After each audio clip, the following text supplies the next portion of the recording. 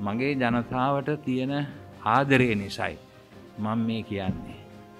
මම මගේ ජනතාව මේ පල්ලිවල කෑලිවලට කැඩිලා ඒ මිනිස්සුන්ගේ ඇඟවල් කඳවල් කෑලි කෑලිවලට කැඩලා තියෙන එක මගේ මේ ඇස් දෙකෙන් දැක්කා. එහෙම වෙච්ච මට මම දන්නෑ ඔය කියන දේශපාලකයෝ එක දැක්කද කියලා. මනුස්සේකුට කරපු අවනම්බුව තමයි ඒක.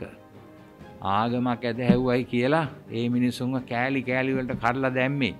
ඒ නිසා ඒ වගේ දෙයක් සාධානී කරණය කරලා ඒකෙන් සල්ලි හම්බ කරන්න හරි ඒකෙන් ලාභ ප්‍රෝජන ගණ්ඩ හරි කිසි කෙනෙකුට ඉඩ දෙන්න බැහැ. ඒක අපේ ආගමික හරද සාක්ෂයට විරුද්ධයි. මම දන්නවා අපේ රටේ බහුතර ජනතාව මේක පිළිගන්නේ නැති බව. ඒ නිසා මම අපේ රටේ ජනතාව සියලු දෙනාගෙන්ම ඉල්ලා සිටිනවා මේ එක එක්කෙනාගේ කුමන්ත්‍රණවලට අහුවෙන්න එපා.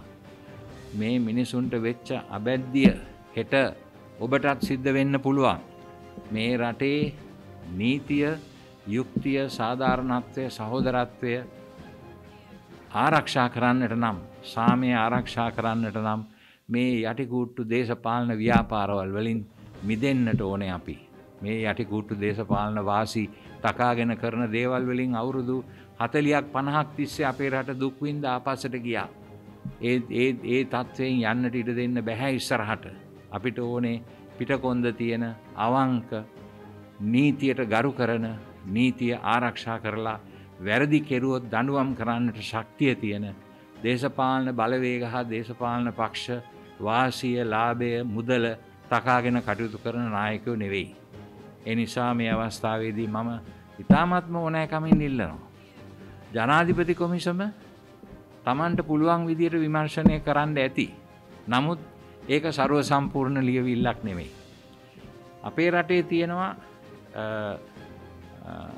අපරාධ පරීක්ෂණ දෙපාර්තමේන්තුව. අපේ රටේ තියෙනවා SIS කියලා බුද්ධි අංශයක්. අපේ රටේ තියෙන රාජ්‍ය බුද්ධි අංශයක්. අපේ රටේ තියෙනවා මේ යුද්ධ හමුදාවට සම්බන්ධ බුද්ධි අංශයක්.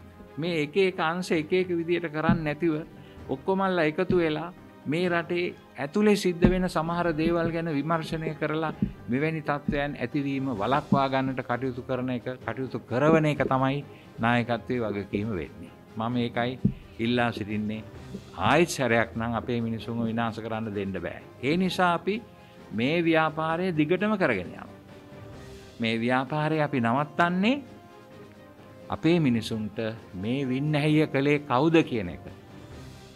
හොයල බලලා ඒක ප්‍රසිද්ධයට පත් කරලා එක විනිවිධ බාලයෙන් කරලා ඒ අයට දඩුවම් පමුණුවන්නට කටයුතු කරපු දවසට විතරයි අපේ මේ වැඩ පිළිවෙල නවතින්නේ. ඒක මම ඉතාමත්ම ධෛර්යවන්තව ප්‍රකාශ කරනවා මට අපි ඔක්කොමල් රදගුරු මණ්ඩලේ සියලුම රදගුරුතුමල්ලා කල්පනා කරන්නේ මේ විදිහටයි. අපි ඔක්කොමල්ලා ඒ නිසා මේ කරන ඉල්ලීමට සවන් දෙන්න කියලා අපි අපේ පාලක ජනතාවට ප්‍රකාශ කරනවා ස්තුතියි.